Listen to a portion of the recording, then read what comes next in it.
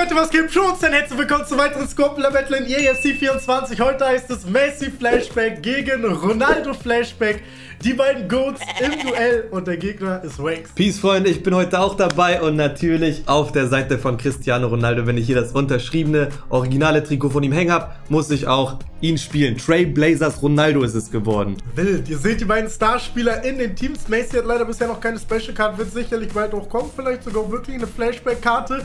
Und damit es ein Flashback SBB ist, haben wir es heute so gemacht, dass ich drei Spieler vom FC Barcelona noch bei mir im Team einbauen muss, weil das natürlich der beste Club von Messi war, wo er am meisten rasiert hat, die meisten Titel gewonnen hat, die meisten Ballon d'Ors geholt hat. Und Wakes muss drei Spieler von Real Madrid im Team von CR7 noch einbauen, weil für ihn einfach genau das gleiche gilt.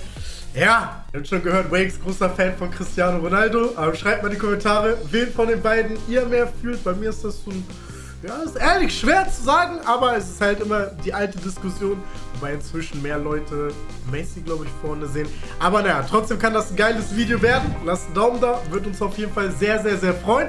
Und check Wakes ab und ich würde sagen, wir halten auch direkt rein. Willst du als erstes die Tafel hochhalten? Okay, mache ich, mache ich. Ist drin. Dann füg mal ein deinen linken Flügel und rechten Flügelspieler. Yes. Drei Spieler von Barca müssen kommen. Wakes darf auch nur drei aufschreiben. Also darf jetzt nicht elfmal Barca aufschreiben, dann hat er gute Chancen, sondern er muss überlegen. Ich glaube tatsächlich, bei den ersten beiden Positionen hast du keinen von Barca aufgeschrieben. Vielleicht. Das Problem ist, dass ich es aber nicht ausnutze, weil ich habe auch keinen von Barca. Ich habe auf dem linken Flügel direkt für Messi für den Link Beasley Hero aus der MLS. Die haben relativ viele Hero-Karten dort, deswegen hast du den vielleicht nicht. Und auf der rechten Seite ich will geile Spieler vorne haben, ich will ein paar Tore machen. Icon Garincha. Boah, der hat doch 5 Sterne-Tricks, oder? Jo, und diese Tricks dann Plus-Eigenschaft, genau wie Ronaldinho, der Alter, der ist super. Ja, das beide behalten. Ich hatte Di Maria und so ein MLS-Spieler aufgeschrieben, aber hat der geschickt gemacht. Nice. Okay, dann halte ich mal bei dir rein. Ja, Beide MS hast du aufgeschrieben, ne? Na, boah, ich merke mein Stift ist Katastrophe. Ich muss einen anderen Stift nehmen. Aber du kannst die Spieler auf jeden Fall einmal einfügen. Okay, ich füge sie gerade ein. Auf der linken Seite spielt ein Spieler, der kostet knapp 3 Millionen Coins. Mittlerweile schon ein bisschen runtergegangen, 2,5 Millionen Coins. Wie, warte mal, warte mal, warte mal. Nee, nee, mach, mach rein. Ich habe nochmal jetzt mit einem anderen Stift drüber geschrieben, weil ich hatte blau benutzt, jetzt habe ich schwarz benutzt, aber man hat eben schon gesehen, was drauf stand.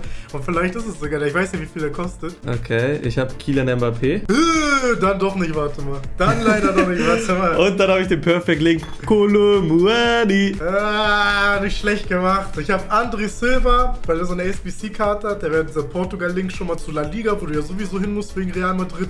Dachte ich, schlau, schlau. Und Pelé halt, na, wenn ich Pelé gegen dich nicht aufschreibe, dann kommt er halt immer ins Team. Und ich dachte, das wird sogar hinkommen, vielleicht mit 3 Millionen. Der kostet viereinhalb oder so immer noch, glaube ich. Ja, man weiß nie bei den Preisen, die gehen schnell hoch und runter. Na gut, mhm. wir können unsere Offensiven spielen. Keiner hat einen bisher aufgeschrieben von den Vereinen und da lagen beide richtig. Das heißt, gleich wird's knifflig. Jetzt darf man noch drei jeweils aufschreiben, ne? Ja, Vielleicht im Mittelfeld was, man weiß nicht. So, Freunde, wir gehen ins Mittelfeld. Ich bin gespannt wie ein Fußballnetz, ob da jetzt ein Barcelona-Spieler kommt. Ich kann nicht spoilern wir nicht. Hä, gespannt wie Fußball jetzt noch nie gehört, aber eigentlich stabil. Ähm, ja, bei mir kommen Barcelona-Spieler. Tatsächlich, das ist halt jetzt immer so eine Sache, ne? Ich hätte auch beide Innenverteidigung und Keeper haben können. Und wenn du jetzt alle aufgeschrieben hättest, hätte es bei dir richtig gebrannt. Jetzt brennt es bei dir, wenn du gar keinen aufgeschrieben hast, weil ich habe sogar zwei Barca-Spieler jetzt. Hm, das kann nach hinten losgehen. Ich habe, glaube ich, die geilste Barca-Karte. Ja, ich muss das Risiko gehen. Petri, Vielleicht denkst du jetzt so offensichtlich, die äh, Centurion Card von Petri. Dann im ZDM habe ich Gündogan. Ich hoffe, der ist vielleicht ein bisschen unterm Radar. Und dann verbinde ich die MLS mit Spanien, mit alles drum und dran. Sogar eine Special Card von Ila Ramendi, aber eigentlich hat man die auch nicht auf dem Schirm, oder? Von Dallas spielt er. Ah, zeig rein mit ihm. Moin Leute, ich bin's, Tim. Ich habe aufgeschrieben, zum einen De Paul für den Argentinien-Link für Messi zum anderen Goretzka und dann kommt ein Barcelona-Spieler und das ist nicht Petri, sondern Gündogan. Ja, ja. ja, wegen Deutschland. Aber krass, dass Petri sogar durchgerutscht ist. Ich hätte es genau andersrum gedacht. Aber deswegen, ich habe gedacht, Wenn du offensichtlicher aufschreibst, dann rutscht mein Gündogan durch. Wenn nicht, dann rutscht mein Petri durch. Aber dass irgendeiner gehen muss, war, war irgendwie klar. Ah, ich wollte sogar Gündogan und Petri aufschreiben. Ich wollte nicht zwei Tipps direkt im Mittelfeld ja, verbraten. Falls du jetzt keinen nimmst, wäre das ein Trümmerbruch gewesen. Ja, ja, ja. Also deswegen, man muss immer so ein bisschen kalkulieren, aber hast du gut gemacht. Äh, dein erster Snipe. Ein Barca-Spieler kommt bei mir noch. Du hast noch zwei Versuche. Hm. Okay, wir gehen rein bei dir. Es könnten jetzt alle drei von Real kommen. Es kann gar keiner kommen. Ich habe auch die Tafel drin. Ich fange mal ich in der Mitte Joker, an, okay? Willst du Joker haben? Soll ich Keeper machen? Ja, ja, ja, ja. Mittelfeld okay, auf jeden ja. Fall. Da benutze ich meinen Joker. Das ist jetzt ZDM, so diese zentrale Position, habe ich mir auch schon gedacht. Ähm, ja, okay, mach. Also, mein Bro. Kann ja sein, du hast Pelé aufgeschrieben. Kann auch sein, du hast jetzt Vieira aufgeschrieben. Äh, habe ich aber nicht mitgenommen, sondern so einen anderen Spieler, der ähnlich gut ist wie Vieira. Und das ist der Trail Blazers, nee, nicht Trailblazers, sorry, das ist Triple Threat Yaya Touré, so heißt dieses Event. Kostet einiges und sorgt dir heute für ein bisschen Sicherheit hinten. Dann aber sehr, sehr auffällig, genauso wie du mit Petri gegangen bist, gehe ich jetzt mit einer Karte für Cristiano Ronaldo, die sehr, sehr auffällig ist. Und das ist Bruno Fernandes, ist noch in der, in der Premier League, also noch nicht in die La Liga zu Real Madrid gegangen. Und dann auf der linken Seite einen weiteren Portugiesen, damit äh, die direkt beide Chemie bekommen. Und das ist ein Inform Palinja. Kennst du den? Nee, oh, der sollte jetzt zu Bayern gehen. Ähm, ja. Nee, rutschen gegangen. Vieira aufgeschrieben, tatsächlich, weil ich keinen Bock hatte gegen so ein Monster im Mittelfeld. Jetzt spiele ich trotzdem gegen ein Monster im Mittelfeld. Geil. Und dann dachte ich, weil Real Madrid der unauffälligste ist, ähnlich wie Gündogan, wäre Toni Kroos, glaube ich, der unauffällige bei Real gewesen. Und dann habe ich noch Musiala aufgeschrieben, falls du mit Deutschland-Link gehst, so. Ha? Das heißt, die, die Portugiesen stehen drin zusammen mit Jaya Touré und Co. Ja, aber das heißt, bei dir kommen noch drei von Real Madrid und ich darf sogar noch zwei aufschreiben. Das ist natürlich auch wieder. Hm. Ich habe sogar überlegt, alle drei Real Madrid-Spieler im Mittelfeld aufzuschreiben. Ich hatte genau vor sowas Angst, zum Glück nicht gemacht. Ey. Boah. Hm. Mal gucken, ob sie jetzt kommen. Außenverteidiger oder erst am Ende bei mir Innenverteidiger oder Torwart oder so. Kann ich ja auch machen. Wir kommen den Außenverteidigern, sehr wichtige Position. Deswegen kann ich mir vorstellen, dass du dann nicht mit Real gegangen bist, weil da will man keinen Keeper auf Außen haben. Ja, und deswegen fange ich mit meinem Rechtsverteidiger an. Den wirst du, glaube ich, eher weniger haben. Denn das ist meine Icon und die heißt Philipp Lahm. Hat eigentlich relativ wenig mit dem Team zu tun, aber dieses Jahr sind die Icons ja so geil, dass die den Spielern Links geben und somit haben gerade alle Spieler in meinem Team Full Chemie außer Cristiano Ronaldo. So, auf der linken Seite habe ich aber einen Spieler von Real Madrid. Es ist aber nicht Ferland Mondi, sondern ein Spieler, der in Real Life oft die Position übernimmt und das ist Kamavinga. Der spielt ja echt oft Außenverteidiger bei Real. Das ist dein erster von Real, ne? Ja. Nun der schon Cancelo, aber es müssen noch zwei von Real bei dir kommen. Ich darf noch zwei aufschreiben. Das Nein. wird heikel gleich in der Mitte. Nein! Und bei mir kommt ein einziger noch vom Barca. Halt mal die Tafel rein. Ja, okay, okay, okay, okay. Und jetzt die Frage, kommt der vom Barca bei mir jetzt? Kommt der später? Mein Rechtsverteidiger ist wieder aus der MLS. Es ist eigentlich eine Bronzekarte. Aber er hat eine Inform bekommen mit einem 80er Rating. Dorsey heißt er. Und der hat auch direkt volle Chemie wegen dem Hero, bla bla. Linksverteidiger. Und der ist jetzt eigentlich so offensichtlich, dass man vielleicht den deswegen wieder nicht aufschreibt. Ich habe überlegt, erstmal aus der MLS auch noch eins zu nehmen. Das wäre sogar noch sicherer. Aber dann dachte ich so, komm, vielleicht hast du nicht Acuna drauf. Bei mir auf der Tafel steht ein weiterer Barcelona-Spieler, der heißt Cancelo. Die musste ich einloggen, weil der kann links und rechts spielen, weißt du? Da muss man so dieses probieren. Und links habe ich Acuna. Okay. 2-0. Du darfst doch noch einen vom Barca, ne? Ich darf noch einen aufschreiben, ja? Und es steht schon 2-0 für mich. Das kommt auch noch genau einer. Ah, okay, okay, okay, okay. Hm, ist es der Torwart, ist es ein Innenverteidiger, das werden wir jetzt sehen. Timo heute gar keinen Spaß einfach. so Freunde, wir gehen ins große, große Finale. Jetzt wird es nochmal richtig ernst. Bei mir kommen noch, glaube ich, zwei Real Madrid-Spieler und bei dir noch einer. Ich will wissen, was du hast, deswegen halte ich rein, okay? Ah, ich sag, zwei Spieler hast du gar keine Chance eigentlich auf die zu kommen, aber halt der Barca-Spieler. Mhm. Musstest du dich jetzt entscheiden für Innenverteidigung oder Torwart? Torwart wäre schon sehr riskant. Aber ich habe einfach ein Tor gemacht. Ter Stegen in Form. Jetzt kommen wir zu den Innenverteidigerinnen. Nämlich eine Centurions Card und eine Triple Threat Card. Du sagst ja immer, Frauen in der Innenverteidigung sind absolut OP, deswegen kommen heute welche. Die haben sogar kranke Playstyles und so auch. Also ich glaube, das ist wirklich sehr wild. Williamson und Greenwood. Aber ja, Ter Stegen ist ja die Frage. Nee, ich hatte Inigo Martinez aufgeschrieben. Gab es zu viele. Und dann hatte ich Giroud und Kalulu. Ich dachte, du gehst vielleicht noch in eine neue Liga rein. Ist ja neue Liga Frauen Premier League. Ja, ich dachte aber so eine Männerliga. Aber man weiß halt nicht welche Liga. Ja, genau. ja, das ist komplett. Deswegen meine ich ja, da war schon sehr unrealistisch. Okay, crazy. Ich halte mal bei dir rein. Zwei Real Madrid Spieler. Die Hm, Frage auch so ist, viele Möglichkeiten. ist es bei mir auch ein Torwart geworden? Ich fange auch mal mit einem Torwart an. Und mein Torwart heißt Ederson.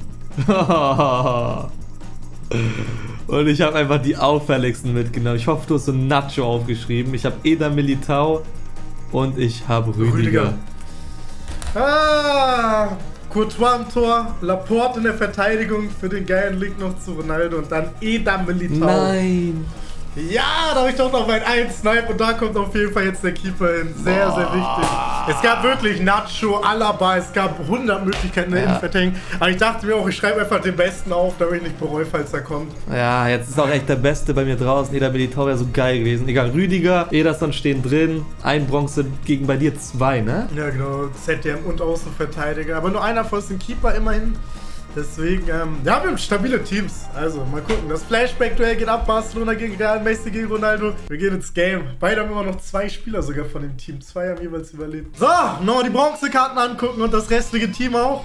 Jeder so natürlich strong. Okay, rechter Innenverteidiger. Das heißt, ich muss über links so ein bisschen. Boah, Team ist mächtig, ja. Bei dir aber auch mit Garincha und so. Petri und so hat überlebt und die Guten sind drin. Auf geht's, auf ein gutes Spiel. Auf ein gutes Game.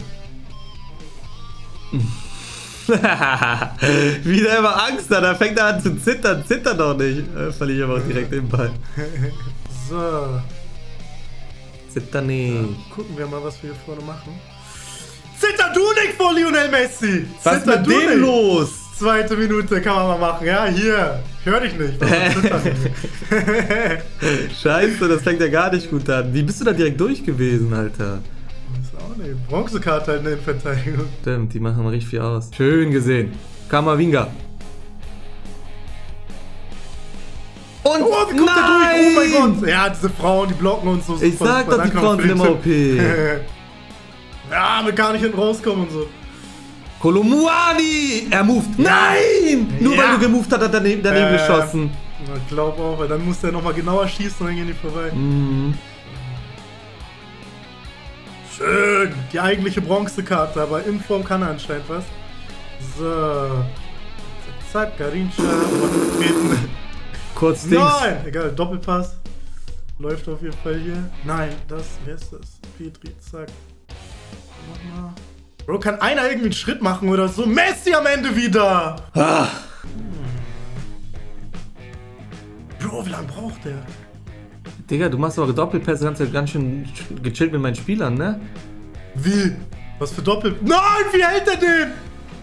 Was ist das Aha. denn? Ja, der muss drin sein, ja. Okay, das ist echt ein bisschen, diese Ball wieder kriegen ganze Zeit, also wird mir gar nicht schmecken. Ey, da rastet man doch schon wieder fast aus. Ich versuche mich gerade so zu beherrschen, das glaubst du nicht. So, wo war nochmal der Bronze? Ja, der Bronze ist doch der, der da deckt, oder nicht? Das ist ihr selbst. Oh! Okay. Ui! Das,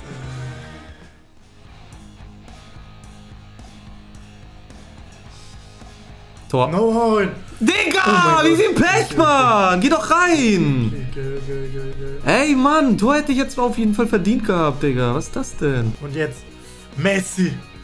Messi macht vorne so Arbeit. So geil. Messi. Messi! Digga, der schießt viermal aufs Tor, macht vier Tore. Wie gut ist der? Und meine Latte geblockt, alles drum und dran. Mach ihn. Oh, er ist so gekauft! Was? Ja, Bro, der hat den fast nicht gemacht, ne? Er hat noch gegen Pfosten Ja, getreten das, und das so. stimmt, das, das ist ja Der ganz so- krank gewesen, die- wäre hingefallen und Ich so. glaube, der hatte gar keinen Bock, den zu machen. Irgendwie dachte er sich so, heute gar keine Tore schießen. Messi gewinnt das Battle heute aber easy. Du hast auf jeden Fall verdient, aber trotzdem bitter, Mann, was das Ding Ja, was muss auf einmal für ein Tor reingehen, weißt du? So geile Chancen und dann sowas. Der tritt da gegen Pfosten, Junge. Crazy. Guter Ball. Ehrlich, Traumball sogar. Hey! Oh, Testing ist so krass. noch. Puh, Chef, oder hätte ich Bronze, dann wäre schon 4-4 dann auf jeden Fall. Garincha. Einfach mal Skill in mich Garincha. reinmachen und so. Garincha! Uh! Ich glaube, das Spiel dreht sich jetzt. Das Spiel dreht sich jetzt. Jetzt kannst du keine Tore mehr schießen. Bock null. Jetzt geht bei mir alles rein. Jetzt muss ich nur Chancen kreieren. Nein, der rennt doch da. Oh, Oh mein Gott, diese Frauen sind so gut. hey, die sind echt richtig gut, ne? So beweglich, so flink, blocken alles, holen ihren Zweikampf.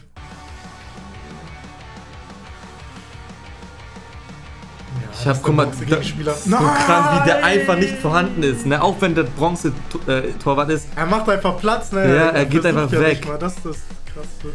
Petri! Ach, lächerlich. Das ist doch jetzt dein Keeper. So, dann... Hey, rot!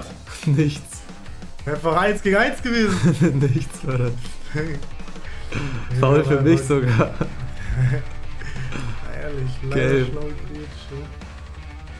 Okay, dann kannst du was nicht nochmal machen, das ist schon mal gut. Jetzt Messi reinlöffeln. Garincha. Boah! Man denkt einstudiert. Über, äh, bring mal bei. Junge!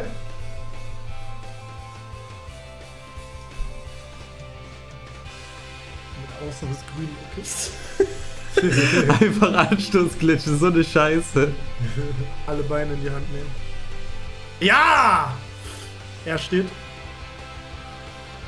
Und er steht!